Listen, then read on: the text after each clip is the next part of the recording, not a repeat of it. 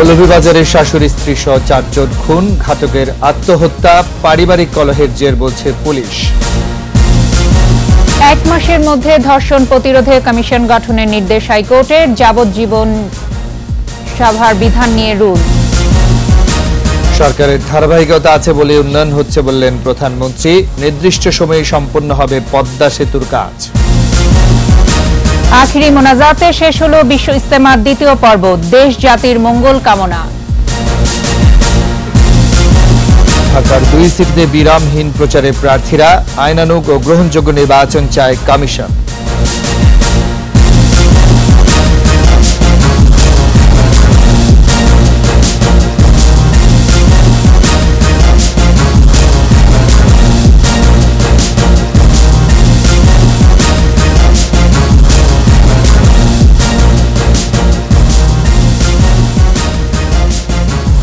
First security Islami bank limited সংবাদ শিরোনাম। সবাইকে আমন্ত্রণ জানাচ্ছি সন্ধ্যা সাতটার একুশে সংবাদে। আপনাদের সাথে আছে আমি রাজীব জামান। এবং আমি ফারজানা আখি। দর্শক একুশে টেলিভিশনের সংবাদ একই সাথে সরাসরি দেখতে পাবেন আমাদের Facebook page W dot Facebook dot com slash Ekushey twenty four অনলাইনে এছাড়াও সংবাদে আরও থাকছে। এবার সিলেটে জাতীয় পিঠা উৎসব। চিরায়ত ঐতিহ্যের জমজমাট আয়োজনে দর্শনার্থীর ভিড়।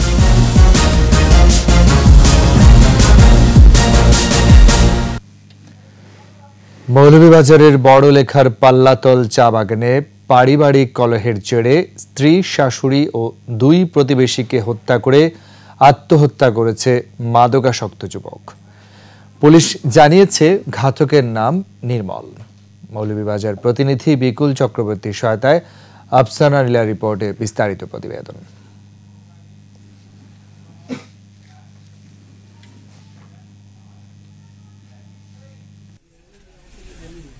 স্ত্রী, শাশুড়ি সহ চারজনকে হত্যার পর আত্মহত্যা করেন মৌলভীবাজারের পাল্লাতল চা বাগানের বাসিন্দা নির্মল। পুলিশ ও স্থানীয়রা জানায়, নির্মল বিয়ের পর থেকেই শ্বশুরবাড়িতে থাকত। স্ত্রীর সাথে তার ঝগড়া চলছিল দীর্ঘদিন ধরে। ভোরে নেশাগ্রস্ত নির্মল স্ত্রী জলির সাথে ঝগড়া শুরু করে। এক পর্যায়ে মারধর শুরু করলে জলি মায়ের ঘরে আশ্রয় নেয়। এ সময় নির্মলের শাশুড়ি তাকে ঠেকাতে আসলে প্রথমে শাশুড়িকে, পরে দুই প্রতিবেশীকে কুপিয়ে জখম করে সে। নির্মলের আঘাতে প্রাণ যায় জলি ব্যানার্জি শাশুড়ি লবি ব্যানার্জি প্রতিবেশী বসন্ত ভৌমিক ও তার মেয়ে শিউলি ভৌমিকের। গুরুতর আহত হন বসন্তের স্ত্রী কানন। তিনি সিলেট ওসমানী মেডিকেল কলেজ হাসপাতালে চিকিৎসাধীন। মেয়ে কইল যে আপনার আমার মারে কাটি লাইছে। তখন আমরা কয়েকজন যাইবার প্রস্তুতি নিলাম কিন্তু কেউ ডরাইয়া যাইতে চাইলো না। তার মারে তার বাপে কাটে লিছে তার তার নানিরে। এবং প্রতিবেশী গেছে বাসাইতে বসন্ত বসন্তর বউ বসন্তর ফুটিতে। বাদে আমরা গিয়া পাই তিন তিনজন বাইরে লাশ। এদিকে চারজনের মৃত্যুর পর নির্মল নিজের ঘরে গিয়ে ফাঁস লাগিয়ে আত্মহত্যা করে। নিহতরা চা বাগানের শ্রমিক ছিলেন। পারিবারিক কলহের জের ধরে স্বামী তার স্ত্রীকে আঘাত করে একটা পর্যায়ে তার পাশের ঘরের লোকজন তাকে ফেরানোর চেষ্টা করার তখন তাকে তাদেরকেও আঘাত করে একটা পর্যায়ে চারজনকে সে হত্যা করে করার পরে সে নিজেও ওখানে ওই ওই বাড়িতেই সে আত্মহত্যা করে। তাৎক্ষণিকভাবে তো বলা যাচ্ছে না ওই ছেলেটা তো এখানে ঘর জামাই থাকতো। এবং তার আত্মীয় স্বজনও এখানে কেউ থাকে না। সে ভিন্ন এলাকার লোক এবং তার তার মানে আদি বাড়ি কোথায় সেটা এই এলাকার লোকজন এখন পর্যন্ত স্পষ্ট বলতে পারে না পুলিশ পাঁচজনের মৃতদেহ উদ্ধার করে ময়নাতদন্তের জন্য মর্গে পাঠিয়েছে। আফসানা নীলা, একুশে টেলিভিশন। আগামী এক মাসের মধ্যে ধর্ষণের মূল কারণ নির্ণয় এবং প্রতিরোধে একটি কমিশন গঠনের নির্দেশ দিয়েছেন হাইকোর্ট। ছয় মাসের মধ্যে কমিশনকে আদালতে একটি প্রতিবেদন দাখিল করতে হবে। পাশাপাশি ধর্ষণের সাজা যাবজ্জীবনের বিধান উঠিয়ে দিতে আইন সংশোধনে সরকারের নিষ্ক্রিয়তা কেন অবৈধ হবে না জানতেও রুল জারি করেন হাইকোর্ট। বিচারপতি F R M Nazmul Ahsan ও বিচারপতি কে এম কামরুল কাদেরের হাইকোর্ট বেঞ্চ রুল সহ এ আদেশ দেন। শাকির আর্য রিপোর্ট। দেশে উদ্বেগজনক হারে বাড়ছে ধর্ষণের ঘটনা। কঠোর আইন, উচ্চ আদালতের নানা নির্দেশনার পরও নারী ও শিশুর প্রতি সহিংসতা কমানো যাচ্ছে না। আইন ও সালিশ কেন্দ্রের হিসেব অনুযায়ী দু হাজার উনিশ সালের এক হাজার চারশো তেরো জন নারী ধর্ষণের শিকার হয়েছেন। দু হাজার আঠারো সালে এই সংখ্যা ছিল সাতশো বত্রিশ জন। গত বছরের তুলনায় ধর্ষণের ঘটনা বেড়েছে দ্বিগুণ, যা ভয়াবহ বলে উল্লেখ করেছে সংস্থাটি। কয়েক বছরের যেটা পরিসংখ্যান যেটা আপনারা ভালোভাবে জানেন, বিভিন্ন পত্রপত্রে এসছে। প্রায় আমরা সবাই কিন্তু শঙ্কিত, আমাদের সমাজে ইকুলিব্রিয়াম এবং শান্তিটা নষ্ট হয়ে যাচ্ছে। এ অবস্থায় ধর্ষণের সাজা, যাবজ্জীবনের বিধান সংশোধন চেয়ে হাইকোর্টে রিট দায়ের হয়। আদেশে হাইকোর্ট আগামী এক মাসের মধ্যে ধর্ষণের মূল কারণ নির্ণয় এবং প্রতিরোধে কমিশন গঠনের নির্দেশ দেন। আইন মন্ত্রণালয়ের একজন অতিরিক্ত সচিবের নেতৃত্বে এ কমিটিতে থাকবেন আইনজীবী বিচারক মানবাধিকার কর্মী বিশিষ্ট ব্যক্তি গণমাধ্যমের প্রতিনিধি চিকিৎসক এবং ভিকটিম। কারণটা কি? কেন এরকমভাবে রেপটা বেড়ে গেল? কেন এগুলিকে কন্ট্রোল করা যাচ্ছে না? কি কি কারণে হতে পারে? রুট কজ অর্থাৎ মূল কারণটা চিহ্নিত করবেন এবং রেকমেন্ডেশন দিবেন। ধর্ষণের ঘটনা কেন বেড়ে যাচ্ছে বা কীভাবে এটি প্রতিরোধ করা যায় এই বিষয়ে ওনারা ছয় মাসের মধ্যে একটি বিস্তারিত প্রতিবেদন দাখিল করবেন। ধর্ষণের সাজা যাবজ্জীবনের বিধান উঠিয়ে দিতে আইন সংশোধনের সরকারের নিষ্ক্রিয়তা কেন অবৈধ নয় তা জানতে চেয়ে রুল জারি করেন হাইকোর্ট। ভিকটিমদের জন্য সাক্ষী সুরক্ষা আইন কেন প্রণয়ন করা হবে না তা জানতেও রুল জারি করা হয়েছে। ধর্ষণের সময় যদি কোনো ভিকটিমের মৃত্যু ঘটে সেখানে মৃত্যুদণ্ড এবং যাবজ্জীবনের বিধান রয়েছে। যেহেতু একই সঙ্গে ধর্ষণ এবং মৃত্যুর ঘটনা ঘটে গেল। সেখানে যাবজ্জীবন দেয়া এই আইনটি ত্রুটিপূর্ণ এবং এক্ষেত্রেও একটি রুল ইস্যু হয়েছে। ধর্ষণের অপরাধের বিচারের জন্য আলাদা আদালত গঠন করার নিষ্ক্রিয়তা কেন অবৈধ হবে না তা জানতে চেয়ে রুল জারি করেন হাইকোর্ট। শাকের আরজু একুশে টেলিভিশন ঢাকা। প্রধানমন্ত্রী শেখ হাসিনা বলেছেন সরকারের ধারাবাহিকতা আছে বলেই আজ দেশের উন্নয়ন হচ্ছে। সকালে প্রধানমন্ত্রীর কার্যালয়ে ফাস্ট ট্র্যাক প্রজেক্ট মনিটরিং কমিটির সভায় তিনি আরও বলেন, উন্নয়নের মহাসড়কে সকল কাজই মানসম্মতভাবে হচ্ছে। পদ্মা সেতু প্রকল্পের অগ্রগতির চিত্র তুলে ধরে প্রধানমন্ত্রী আশা প্রকাশ করেন, নির্দিষ্ট সময়ে কাজ শেষ হবার। এজন্য তিনি ধন্যবাদ জানান সংশ্লিষ্ট সবাইকে। এ সময় টানা তৃতীয়বারের মতো ভোট দিয়ে আওয়ামী লীগ সরকারকে জয়যুক্ত করায় দেশের জনগণের প্রতি কৃতজ্ঞতাও প্রকাশ করেন প্রধানমন্ত্রী শেখ হাসিনা। অন্যান্য প্রকল্পগুলো বাস্তবায়ন কাজেও যথেষ্ট। আমি জনগণের কাছে কৃতজ্ঞ যে অন্তত তারা আমাদেরকে এটুকু সুযোগ দিয়েছে যে আমরা পরপর এবার নিয়ে তৃতীয়বার এসেছি। তাতে আমাদের যে উন্নয়নের কাজগুলি সেগুলি যেমন আমরা বাস্তবায়নও করতে পারছি এবং মানসম্মত করতে পারছি আর সাথে সাথে আজকে আমাদের এই সমস্ত পদক্ষেপ নেওয়ার ফলে আজ দারিদ্র সীমার হার আমরা বিশ ভাগে নামাতে সক্ষম হয়েছি হত দরিদ্রের হার আমরা কমিয়েছি।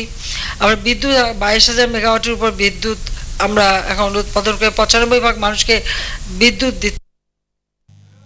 সংশোধিত নাগরিকত্ব আইন সিএএ ভারতের অভ্যন্তরীণ বিষয় হলেও এর কোনো প্রয়োজন ছিল না বলে মনে করেন প্রধানমন্ত্রী শেখ হাসিনা। গালফ নিউজের সঙ্গে সাক্ষাৎকারে একথা জানান প্রধানমন্ত্রী।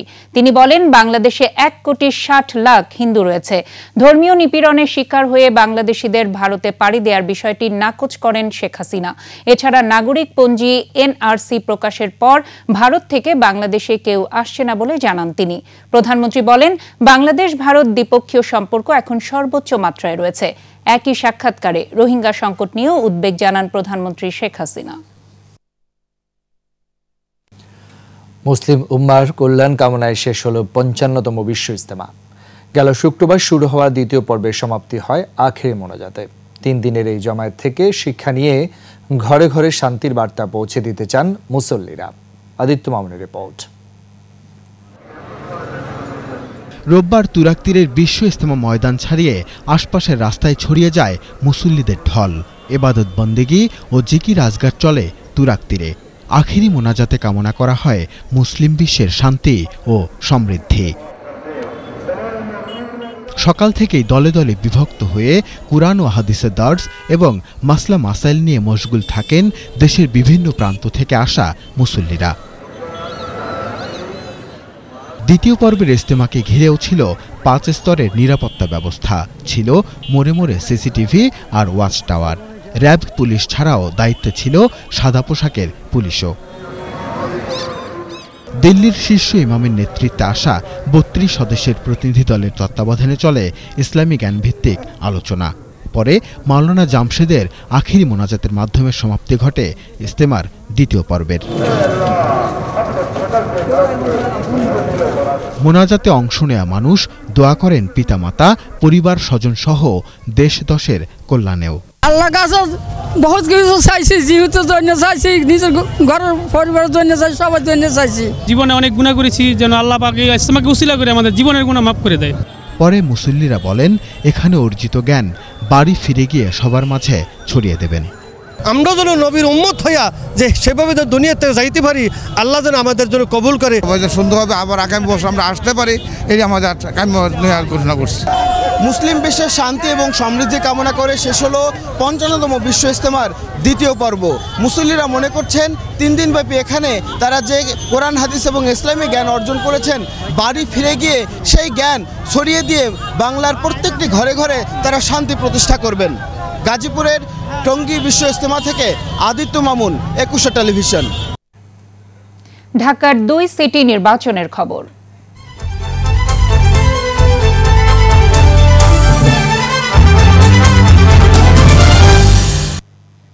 নির্বাচন কমিশন দেরিতে হলেও সরস্বতী পূজার কথা বিবেচনায় নিয়ে সিটি নির্বাচন পিছিয়েছে।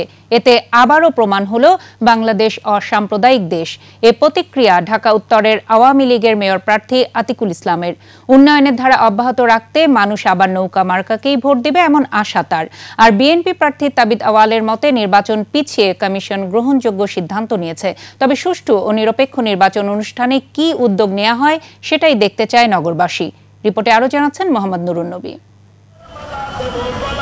রাজধানীর কল্যাণপুর খাজা মার্কেটের একটি পথসভা থেকে সিটি নির্বাচনে নিয়মিত গণসংযোগ শুরু করেন উত্তরে আওয়ামী লীগের মেয়র প্রার্থী আতিকুল ইসলাম।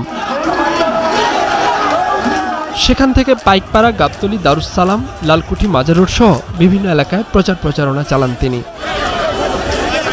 বক্তব্যে তিনি বলেন, নৌকা মার্কা যখন যেখানে দায়িত্বে থাকে, সেখানে উন্নয়নের ছোঁয়া। পৌঁছে যায়। এবারও সেই ধারাবাহিকতায় নগরবাসীর কাছে নৌকায় ভোট চান তিনি।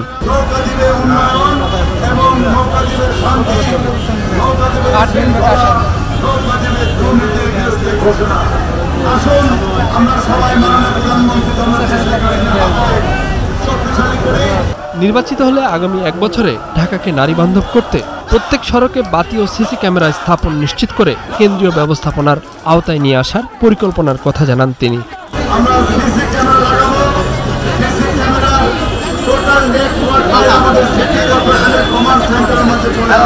আগামী পয়লা পয়লা ইলেকশন হবে ইনশাল্লাহ এই যে অসাম্প্রদায়িক বাংলাদেশ প্রমাণ। আমি ধন্যবাদ জানাই। এদিকে উত্তরে বিএনপির মেয়র প্রার্থী তাবিতা অলসহ দলের নেতাকর্মীরা জিয়াউর রহমানের মাজার জিয়ারতের পর দুপুরে মিরপুর বিআরটিএ এলাকা থেকে গণসংযোগ শুরু করেন। প্রচার প্রচারণাকালে তাবিত বলেন নির্বাচন সুষ্ঠু করতে কি কি উদ্যোগ নেয় সেটা এখন দেখার বিষয়। তাদের ভাবমূর্তি আরও ফিরে পাওয়ার জন্য ওনারা এখন অবশ্যই একটা সুস্থ পরিবেশ বজায় রাখার জন্য দৃশ্যমান পদক্ষেপ ওনারা নেবেন পহেলা ফেব্রুয়ারির লড়াইয়ে বিজয়ী হতে সকলকে ভোট কেন্দ্রে যাওয়ার আহ্বান তাবিত আওয়ালের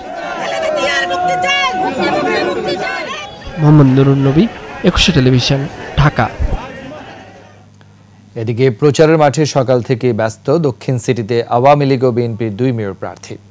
বিভিন্ন স্থানে গণসংযোগ চালিয়ে আওয়ামী লীগ প্রার্থী ব্যারিস্টার শেখ ফজলে নূর তাপস বলেছেন, ভোটাররা পাঁচ বছরের জন্য নৌকা মার্কাকে জয়ী করলে প্রতিটি দিনই হবে জনগণের। আর নির্বাচিত হলে সিটি কর্পোরেশনকে দুর্নীতিমুক্ত করাই তার প্রথম কাজ হবে বলে জানান বিএনপি প্রার্থী প্রকৌশলী ইশরাক হোসেন। মিনালা দিবার সহায়তায় মাহমুদ হাসানের রিপোর্ট। নির্বাচনী প্রচারণার দশম দিন। ভোটারদের কাছে যাচ্ছেন মেয়র প্রার্থীরা। দক্ষিণ সিটিকে ঘিরে নিজেদের স্বপ্নের কথা তুলে ধরছেন তারা। দিচ্ছেন নানা প্রতিশ্রুতি। মতিঝিলের নটরডেম কলেজের সামনে দিনের প্রচারণার কাজ শুরু করেন আওয়ামী লীগের মেয়র প্রার্থী শেখ ফজলেনুর তাপস। নির্বাচন এগিয়ে আনলে শিক্ষার্থীদের জন্য ভালো হতো বলে জানান তিনি। সূচি যদি পরিবর্তন করতেই হতো তাহলে আরও আগে সিদ্ধান্ত নিলে ভালো হতো। ব্যক্তিগতভাবে আমি মনে করি যে পিছিয়ে না দিয়ে এগিয়ে নিয়ে আসলে আমাদের শিক্ষার্থীদের এই অসুবিধাটা আর হতো না। তাপস বলেন পাঁচ বছরে ঢাকাকে বাসযোগ্য নগরী হিসেবে গড়ে তোলা হবে। আধুনিক ঢাকা গড়তে তার দেয়া রূপরেখা সাধারণ মানুষ স্বতঃস্ফূর্তভাবে গ্রহণ করেছে বলেও জানান তিনি। এই ঢাকাবাসী আর যেন অবহেলিত বঞ্চিত না থাকে। একটি একটি মেট্রোপলিটন সিটির যা সুযোগ সুবিধা সেই সুযোগ সুবিধা যেন আমাদের ঢাকাবাসী তাদের দোরগোড়ায় পায় সেই লক্ষ্যে আমাদের এই নবসূচনা নবযাত্রা। আজিমপুর এলাকা থেকে গণসংযোগ শুরু করেন বিএনপি প্রার্থী ইঞ্জিনিয়ার ইশরাক হোসেন। নির্বাচন পেছানোয় জনগণের বিজয় হয়েছে উল্লেখ করেন ইশরাক। বলেন নির্বাচিত হলে দুর্নীতিকে প্রশ্রয় না দিয়ে এলাকার নানা রকম উন্নয়নমূলক কর্মকাণ্ড পরিচালনা করবেন। আমি কোনো দুর্নীতিকে প্রশ্রয় দিব না এক পয়সারও দুর্নীতি কেউ করে পার পেয়ে যাবে না। অন্তত আমি যতক্ষণ নিঃশ্বাস নিয়ে আমি যতদিন বেঁচে থাকব মেয়র যদি আমি দায়িত্ব পাই কেউ কাউকে আমি দুর্নীতি করে পার পেতে দিব না। জয়ের ব্যাপারেও আশাবাদী দুই প্রার্থী। মাহমুদ হাসান একুশে টেলিভিশন। ঢাকা। আইনানুগ গ্রহণযোগ্য নির্বাচন চায় কমিশন। বিচারিক মনোভাব নিয়ে দায়িত্ব পালনে আইন শৃঙ্খলা বাহিনীকে নির্দেশনা দিয়েছেন নির্বাচন কমিশনার রফিকুল ইসলাম। রোববার বিকেলে নির্বাচন প্রশিক্ষণ ইনস্টিটিউটে ঢাকা উত্তর সিটি নির্বাচনের আইন শৃঙ্খলা সংক্রান্ত মত বিনিময় সভায় যোগ দেন তিনি। বলেন আইন শৃঙ্খলা পরিস্থিতি নির্বাচনের পরিবেশের জন্য সুষ্ঠু রাখতে হবে। একই সঙ্গে বিচার বিবেচনা করে আইনের যথাযথ প্রয়োগ করতে হবে বলেও নির্দেশনা দেন কমিশনার রফিকুল ইসলাম। সভায় উত্তরের রিটার্নিং অফিসার আবুল কাশেম জানান, এ পর্যন্ত প্রতিদ্বন্দ্বী প্রার্থীদের উনিশটি অভিযোগ জমা পড়ে, যার সবগুলোই নিষ্পত্তি করা হয়েছে।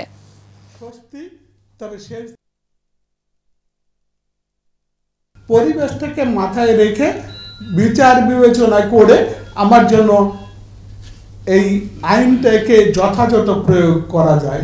আপনারা আচরণ বিধিমালাটাকে প্রয়োগ করার জন্য এই শাস্তি, জরিমানা এগুলো করার চাইতে যদি প্রিভেন্টিভ মেজারটা নেন, আপনার জুডিশিয়াল মাইন্ডে অ্যাপ্লাই করবেন।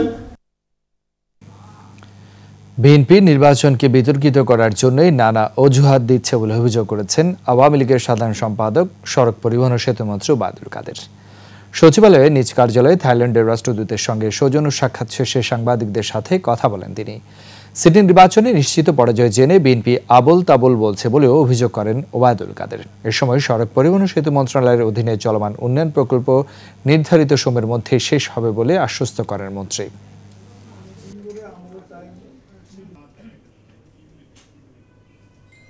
ইভিএমের বিরুদ্ধে যতটা না, তার চেয়ে বেশি হচ্ছে নির্বাচনকে বিতর্কিত করার জন্য তারা ইভিএমকে বিতর্কিত করে তাদের নির্বাচনে পরাজয়ের যে আভাস, সেটাকে এড়ি- এড়ানোর জন্য তারা একটা অজুহাত হিসাবে এই বিষয়গুলো উত্থাপন করছে।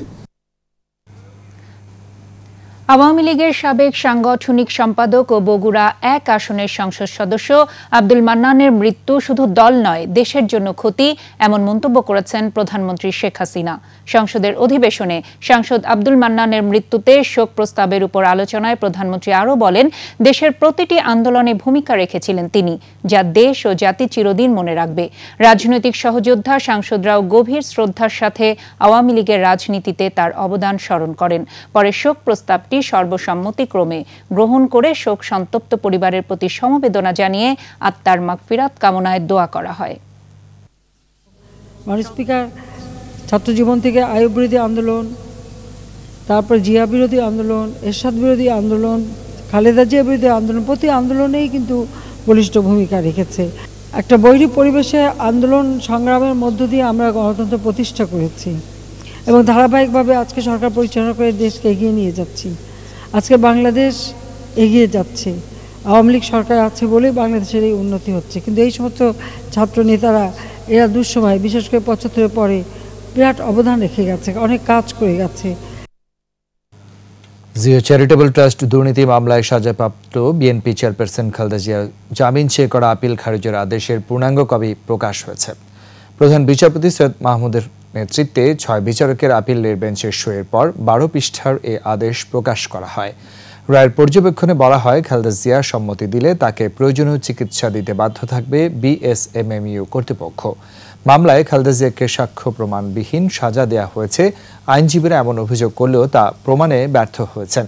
মামলাটি হাইকোর্টে দ্রুত শুনানির জন্য অ্যাটর্নি জেনারেলকে উদ্যোগ নিতেও বলেছেন আপিল বিভাগ। জামিন খারিজ করে দিয়েছে এবং বলেছে, খালেদা জিয়ার সম্মতি সাপেক্ষে বিএসএমএমইউ কর্তৃপক্ষ হ্যাঁ ওনার বায়োলজিক্যাল টেস্ট রিলেটেড যা যা বডি রিকমেন্ডেশন ওটা যেন ওনারা পালন করে। আমরা এই জাজমেন্ট যেদিন হয়েছে, সেদিনই আমরা একটা আবেদন করে রেখেছি। আমরা এই জাজমেন্টটা এখন পরীক্ষা নিরীক্ষা করব। রিভিউতে যাব, না আমরা আবার পুনরায় বেলে যাইব বেল পিটিশন নিয়ে যাব সেটা আমরা সিদ্ধান্ত নেব। কিশোর সাময়িকী কিশোর আলোর বর্ষপূর্তি অনুষ্ঠানে নবম শ্রেণির ছাত্র আবরারের মৃত্যুর ঘটনার মামলায় প্রথম আলোর সম্পাদক সহ ছয় জনের জামিন আবেদনের শুনানি সোমবার। আর এই সময়ের মধ্যে তাদের গ্রেপ্তার বা হয়রানি না করতেও নির্দেশ দেওয়া হয়েছে। বিচারপতি ওবায়দুল হাসান ও বিচারপতি এ কে এম জহিরুল হকের বেঞ্চ হাজির হয়ে তারা জামিন চাইলে আদালত এ আদেশ দিয়েছেন। গত ষোলো জানুয়ারি ঢাকার অতিরিক্ত chief metropolitan magistrate Mohammad Kaisarul Islam, প্রথম আলোর সম্পাদক মতিউর রহমান সাময়িকীটির সম্পাদক ও লেখক আনিসুল হক সহ দশ জনের বিরুদ্ধে গ্রেপ্তারি পরোয়ানা জারি করেন। এর আগে আবরার নিহত হওয়ায় কিশোর আলো কর্তৃপক্ষের অবহেলার প্রমাণ পাওয়া গেছে মর্মে প্রতিবেদন দাখিল করে police.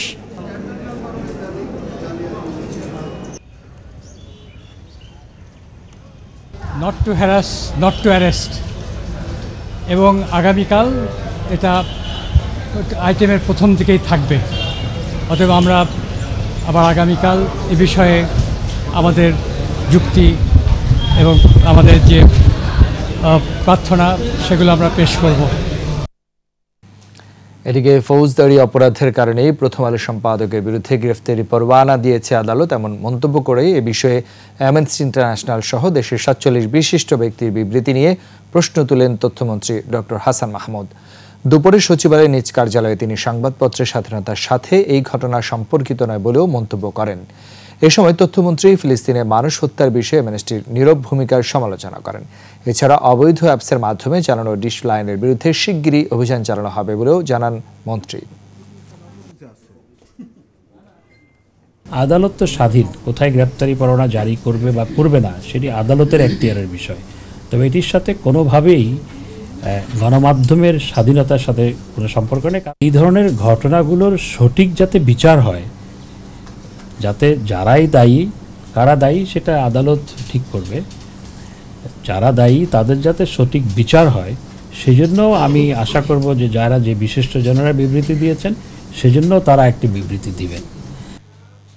বাইশ জানুয়ারি থেকে ই পাসপোর্টের কার্যক্রম শুরু হচ্ছে বলে জানিয়েছেন স্বরাষ্ট্রমন্ত্রী আসাদুজ্জামান খান কামাল।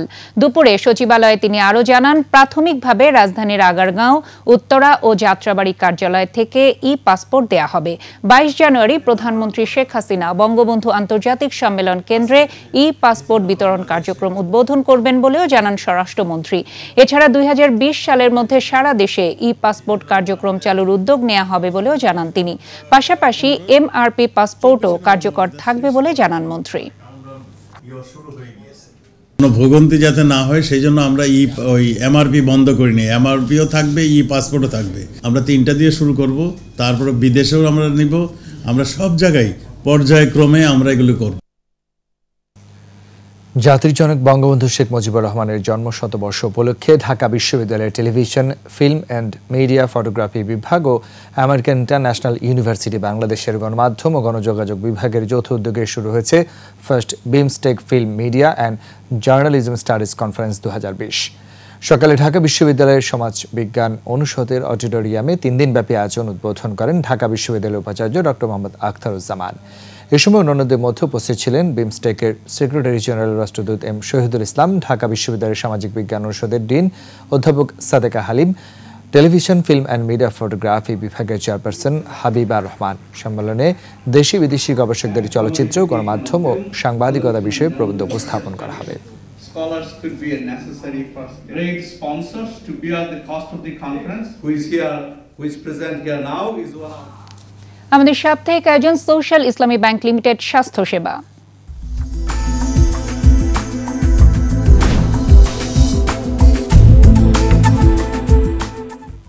রোগী নেই গাজীপুরের শ্রীপুরে কাউরাইদ স্বাস্থ্য ও পরিবার কল্যাণ কেন্দ্রে। নিয়মিত ডাক্তার না থাকায় আসছেন না রোগীরা। তবে প্রয়োজনীয় ব্যবস্থা ও সেবার মান বাড়ানোর আশ্বাস দিয়েছেন সিভিল সার্জন।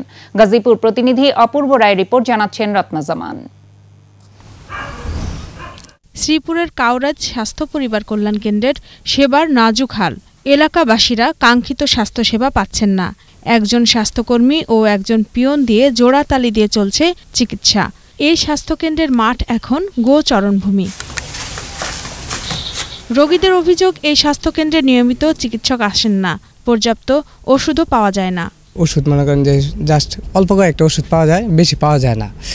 এবং সবাই সব ধরনের ট্রিটমেন্ট এখান থেকে সুবিধা পায় না। ডাক্তার ঠিক মতো পাওয়া যায় না। ডাক্তার এনে ভালো একজন ডাক্তারের দরকার। মানুষ রুগী আসে কিন্তু আইসা এনে চিকিৎসা পায় না। ওষুধ ঠিক মতো পাওয়া যায় না। কাউরায় স্বাস্থ্যকেন্দ্রে একজন ভালো ডাক্তার দেয় এলাকাবাসীর উপকৃত হয়। এত কাছে মেডিকেল হসপিটাল তবু সেই তুলনায় আমরা কোনো ইয়া পাই নাই।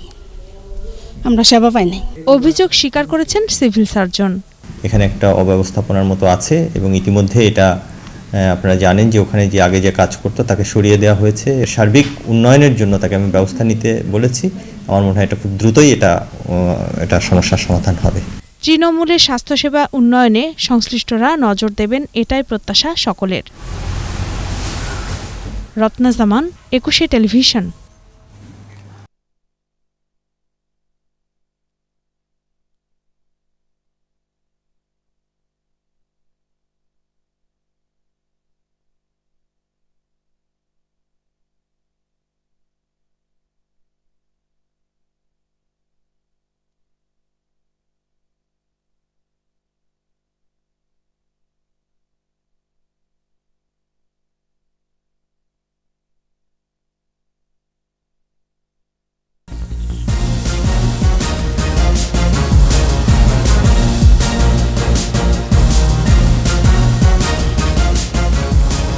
দেখছেন সন্ধ্যা সাতটার একুশে সংবাদ।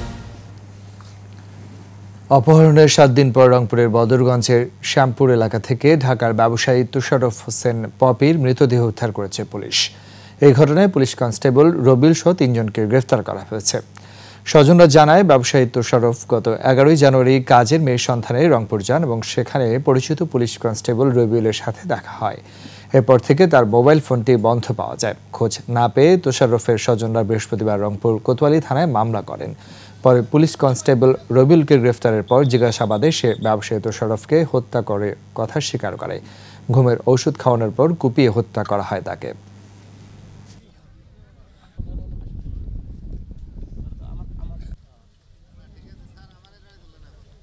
আমরা এই বিষয়টা আরও তদন্ত করব। প্রাথমিকভাবে আমরা যেটা মনে করেছি যে তাকে প্রথমে অজ্ঞান করছে পরে তাকে আঘাত করে তাকে মারা হয়েছে। সোশ্যাল ইসলামী ব্যাংক লিমিটেড বাণিজ্য সংবাদ।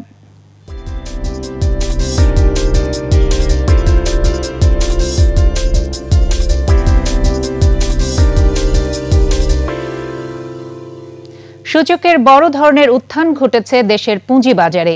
গত সাত বছরের মধ্যে একদিনে সর্বোচ্চ সাড়ে পাঁচ শতাংশের বেশি সূচক বাড়ার রেকর্ড তৈরি হলো। দুই সালে ঢাকা স্টক এক্সচেঞ্জের প্রধান সূচক নতুন ভিত্তিতে শুরুর পর এই প্রথম একদিনে দুশো পয়েন্ট বৃদ্ধির ঘটনা ঘটে। গত বৃহস্পতিবার পুঁজিবাজারে স্থিতিশীলতা ফেরাতে প্রধানমন্ত্রীর নির্দেশনার পরের কার্যদিবসেই এই ইতিবাচক প্রভাব পড়েছে বলে মনে করছেন সংশ্লিষ্টরা। এর আগে বেশ কিছুদিন শেয়ার বাজারে মন্দাভাবের পর গত বুধবার থেকে ইতিবাচক ধারায় ঘুরে দাঁড়ায় বাজার। গত তিন কার্যদিবসে ডিএসসির প্রধান সূচকটি প্রায় সাড়ে তিনশো পয়েন্ট বৃদ্ধি পেয়ে অবস্থান করছে চার হাজার তিনশো বিরাশি পয়েন্টে। এদিকে দিন শেষে ঢাকা স্টক এক্সচেঞ্জ ডিএসসিতে লেনদেনের পরিমাণ দাঁড়ায় চারশো এগারো কোটি ছত্রিশ লাখ টাকা। সূচক বেড়েছে সিএসসিতেও। সিএসসিতে মোট লেনদেন হয়েছে তেতাল্লিশ কোটি আটষট্টি লাখ টাকার শেয়ার ও মিউচুয়াল ফান্ডের।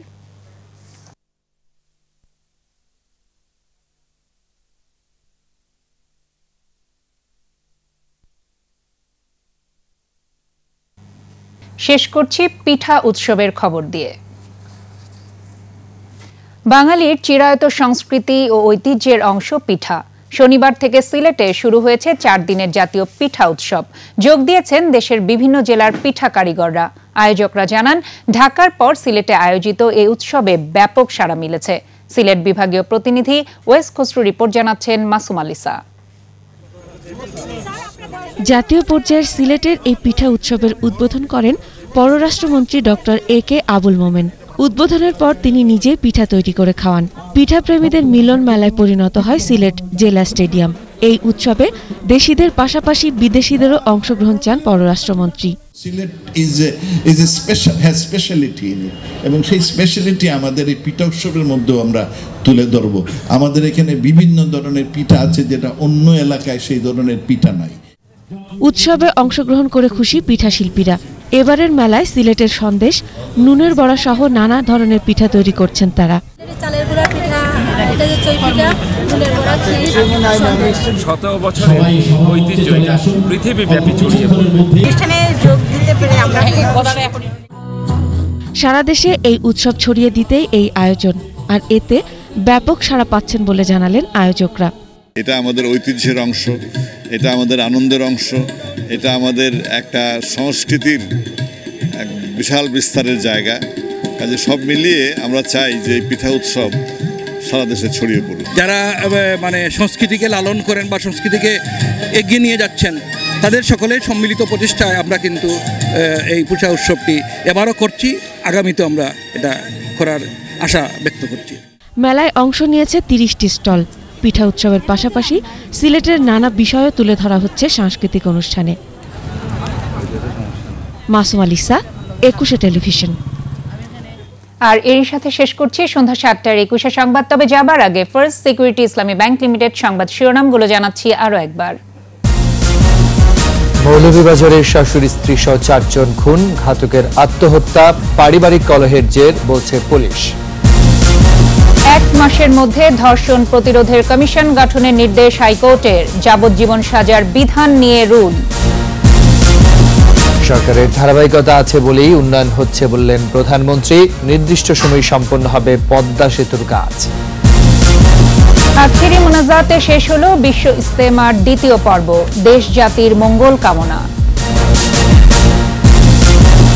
ঢাকার দুই সিটিতে বিরামহীন প্রচারে প্রার্থীরা আইনানুগ ও গ্রহণযোগ্য নির্বাচন চায় কমিশন।